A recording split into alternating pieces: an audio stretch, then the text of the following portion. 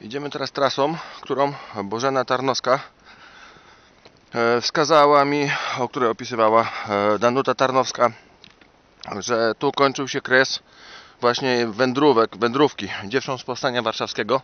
To była rampa rozładunkowa. Tu rozładowywano jeńców i ci jeńcy później na piechotę udawali się do Sierpnicy i e, Osłówki. To jest tamte wzgórza, są z tyłu. Jednak chciałbym Wam pokazać coś innego. Wiadukt kolejowy, o którym ostatnio wspominają bardzo dużo Czesi. Czesi poświęcają bardzo dużo miejsca e, temu miejscu. Nie wiem dlaczego my jako Polacy nie bierzemy tego pod uwagę. Zwróćcie uwagę jeszcze na takie studzienki. Wzdłuż torów biegnie tych studzienek co jakieś pół kilometra jest taka studzienka i one są ze sobą wszystkie połączone. Tunel jest na tyle drożny, że na czworaka, na przykład ja o mojej posturze mogę swobodnie sobie tam przechodzić. Tylko chciałbym Wam teraz pokazać Głuszyce z wiaduktu. Ostatni widok, przeważnie jaki mieli ludzie, którzy wysiadali tu na tych polach i to co widzieli. Za chwileczkę przejdziemy przez wiadukt kolejowy w Głuszycy, który jest najbardziej szczerzonym i pilnowanym miejscem w Głuszycy. Nie wiem dlaczego, jak będę filmował i będę na wiadukcie, za chwileczkę może się policja pokazać. A teraz zobaczcie, to są zakłady Hermana Werke. Też czerwonej cegły. Tu Herman Werke miał swoją filię, tylko co oni tu wyrabiali, tego nikt nie wie. Po II wojnie światowej należało to wszystko do ZPB Piast. Tak wygląda Głuszyca z torów kolejowych. Tu właśnie w tym miejscu ludzie, którzy wysiadali po raz ostatni, widzieli zabudowania. Tamte wzgórza to już jest zimna woda, dalej Jeżosówka. Tamten szczyt, który teraz Wam pokazuję, to jest to, co wczoraj właśnie kręciłem, to już jest Soboń. A tam, gdzie jest ta wieża, e, to są stawy. W tą stronę już zaczynała się wtedy Czechosłowacja. E, Jeszcze coś takiego, no nie wiem czy znamiennego, bo zawsze używam określenia znamienne e, bądź bardzo znaczące. Niektórzy sobie robią z tego jaja. Zwróćcie uwagę, że tu, w tym miejscu jest schron. Te wzgórze to jest schron. Te wejście, które się zapadło, to jest wejście do schronu. Tu znajdowała się tak zwana wachmanówka.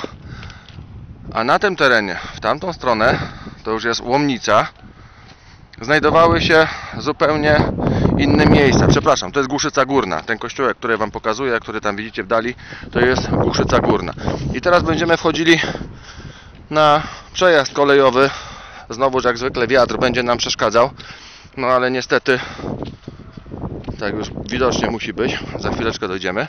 I teraz tak, te budynki, które tu widzicie, ich nie było. Były tylko zakłady fabryczne, te, które widać. W oddali pięknie widać grzmiącą i rybnicę. Czyli całe te tereny, teraz macie najlepszy w zasadzie obraz, jak wyglądała Głuszyca w 1945 roku. I tak ona wyglądała. Widać drugi zakład, widać pierwszy zakład, widać stawy, widać Soboń, widać zimną wodę, a Sierpnica jest tam daleko. Czyli jeżeli ktoś pisze książkę na temat Rize i opisuje e, różne fakty na temat Rize, a nie bierze czasu, który pokonywali jeńcy z miejsca gdzie byli wyładowywani do miejsca pracy, popełniają bardzo wielki błąd. Dlaczego? Z tego powodu to jest bardzo proste. Jeżeli wyładowywano jeńców tu, na tej rampie, która jest za nami, do pracy mieli do obozu w zasadzie, który znajdował się tam na tych polach, mieli niespełna 10 minut. Jeżeli musieliby iść do Sierpnicy, tą trasą, która jest teraz oficjalnie pokazywana, drogą, którą wybudował PGR w 1982 roku, czyli już po stanie wojennym, to jest lekka wersja dla mnie naciągana, ale wchodzimy właśnie teraz na wiadukt. Jeden z wiaduktów, który jeszcze funkcjonuje, przejeżdża przez niego tak zwany szynobus, który jeździ Kłodzko Wałbrzych. Ale sam fakt, po tym wiadukcie, to są oryginalne szyny e, z 43 roku. Podkłady i wszystko co tu się znajduje jest oryginalne. To jest dokładnie ta sama konstrukcja, ta sama budowa, która jest w Wałbrzychu i wiadukt kolejowy. Zobaczcie, to jest ostatnia perełka. Bo prawdopodobnie tego niedługo nie będzie, bo jak zamkną tylko tą trasę kolejową, wiem, że te wiadukty mają być rozebrane. Bardzo muszę uważać, bo deski są przegnite. Jak ktoś nie wierzy, to proszę bardzo. O, muszę iść po podkładach. I słuchajcie, po tym jeszcze jeździ pociąg. Tak zwany szynobus. O, a teraz pięknie widać Głuszycę. Łojdź. O. Czerwony budynek, z tyłu kościół, komisariat policji, w drugą stronę, w kierunku, gdzie widzicie ten szyb. E, Było prezydium, tamten komin, taki wielki ceglany, co widać. To jest e, komin drugiego zakładu, a teraz zwróćcie uwagę na anteny triangulacyjne, te, które zostały postawione przez e, firmę fińską Nokia. Zwróćcie uwagę, jak tylko zobaczycie dookoła, wszędzie pełno jest tych anten. Akurat nie za moimi plecami tego nie ma, bo Czesi na to nie wyrażają zgody. A teraz piękne załamanie pogody, zwróćcie uwagę, o, to jest piękne, jak się ześlizguje chmura w dół. No, to się rzadko tak zdarza, żeby właśnie coś takiego widać. Od strony Czech wchodzi załamanie pogody, za chwileczkę będzie padał tu śnieg. Ludzie, którzy opisywali mi te zdarzenia z 45 roku, bardzo często mi właśnie opowiadali o tym, że stojąc tu albo na wiadukcie, albo w innym miejscu, widzieli jak chmury spełzają do doliny. I to jest właśnie ten efekt. Jak spełzają chmury pięknie w dolinę jak schodzą.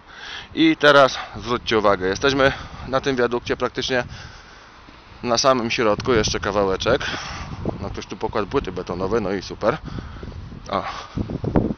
I tak, a to miejsce wybite, co widzicie na tym budynku, o tu, tu kiedyś znajdowała się piękna gapa, nie, to znaczy piękna, sorry, bo ktoś zaraz mi zarzuci, że ja gloryfikuję nazizm. Znajdowała się gapa niemiecka z piaskowca.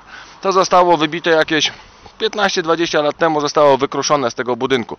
Ale teraz to jest piękna panorama centrum Rizy. Nie tam, co nam pokazują sierpnicze, co nam pokazują inne rzeczy. Tu stawy, Soboń, zimna woda. Tu jest centrum. Tu jest centrum. To, co wczoraj nagrywałem. Yy, te, te, te, te zapadliska w ziemi, to, co, co nagrywałem, yy, ten ślad tak zwany yy, podziemny czeski, coś takiego praktycznie nie istnieje, tego nie ma. I zobaczcie, tu jest Głuszyca Górna i tam za tą chmurą już jest Czechosłowacja. Czechy, teraz Czechy. Kiedyś była Czechosłowacja. Tam, zobaczcie, tam jest Rogowiec. Jak Rogowiec pięknie spełza po Rogowcu chmura. No to naprawdę trzeba zobaczyć samemu, dotknąć i poczuć chłód, który teraz spływa z tamtej strony.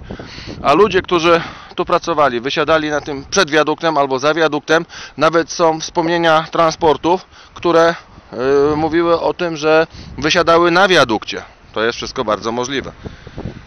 Tak to wygląda w dół. Jesteśmy nad ziemią około 130 metrów. Tak to ładnie wszystko wygląda. Filar.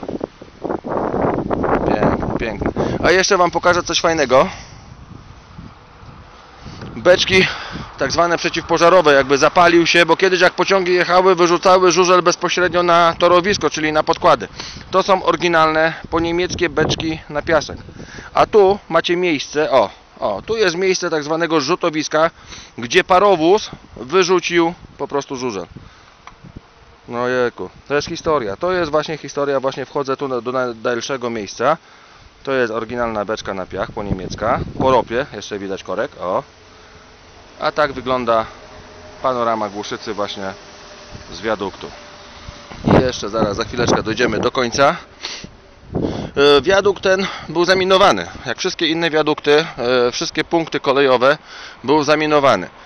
I co jest najciekawsze, grupa Szernera, ta sama, która udaremniła wysadzenie zapory w Zagórzu Śląskim, brała udział w rozminowaniu wszystkich e, dolnośląskich właśnie wiaduktów, te, które teraz są.